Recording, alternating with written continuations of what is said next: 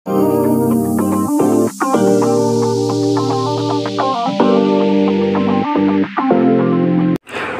guys, untuk kali ini kita akan membahas tentang game. Game yang bisa membaca segala pikiran teman-teman. Jadi segala pikiran teman-teman itu bisa dibaca oleh game ini. Nah, teman-teman bisa mendapatkan game ini di Play Store nah, Tapi selain itu, teman-teman juga bisa e, bermain game ini di Google Chrome. Nah, untuk nama gamenya kita cari gamenya di Playstore nah, kita klikkan saja uh, di Playstore nama gamenya yaitu Akinator.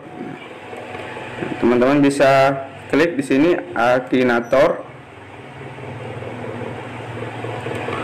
oke okay. nah ini ya teman-teman bisa mendapatkan game ini game Akinator ini di Playstore jadi sudah tersedia di Playstore Eh, teman-teman masing-masing.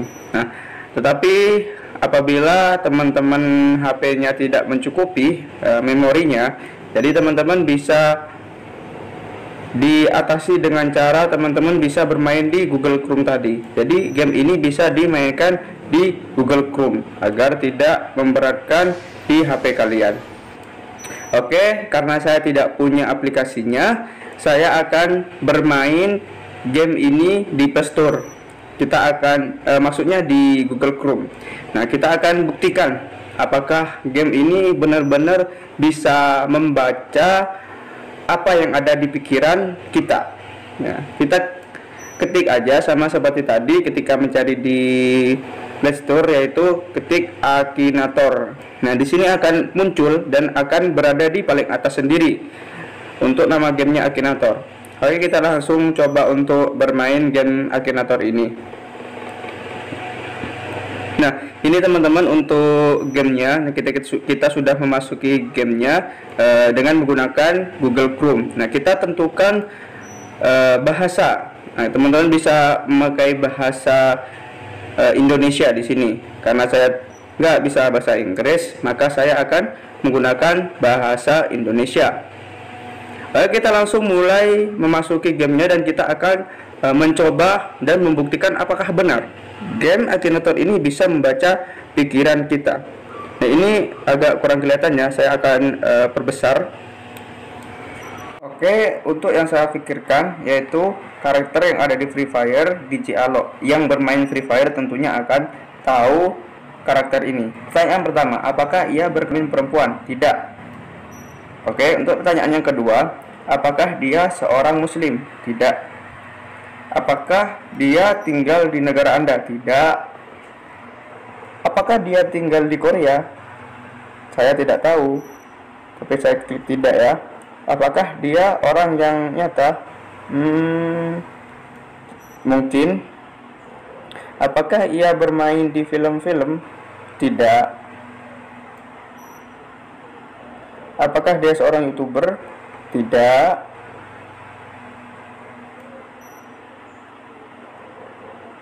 Apakah dia punya handphone? Tidak. Tidak tahu aja ya. Apakah tokoh ini orang Jepang?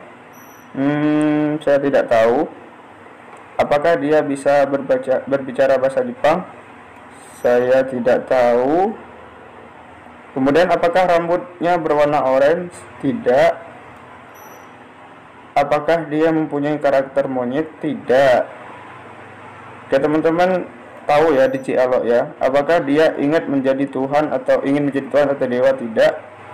Apakah dia menggunakan hipnotis? Tidak. Apakah dia dari sebuah game? Ya. Game Free Fire tadi ya teman-teman. Apakah dia ada hubungannya dengan Nabi? Tidak.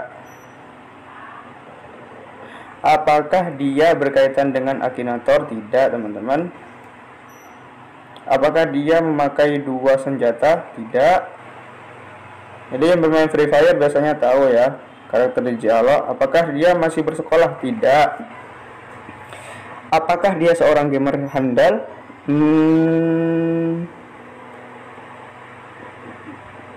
tidak tahu ya tidak tahu apakah dia punya kumis eh punya enggak ya di Dialog ya kita ketik aja di sini iya iya iya apakah dia memakai topi putih? Tidak ya. Apakah dia memakai topi? Tidak. Apakah dia tokoh yang ada di dunia nyata? Alo ada ya di dunia nyata ya. Kita klik iya. Kemudian apakah dia seorang yang membuat game? Tidak.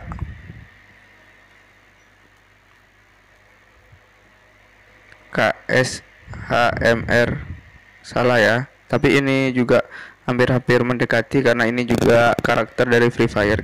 Kita klik lanjutkan. Jadi kita coba lagi analisis lagi. Apakah dia di bidang olahraga? Tidak. Tidak ya di Alok ya. Karena dia tuh di musik. Apakah tokoh ini sudah mati? Tidak.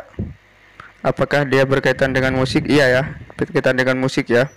Kemudian apakah dia berprofesi sebagai DJ ya udah mulai mendekati teman-teman.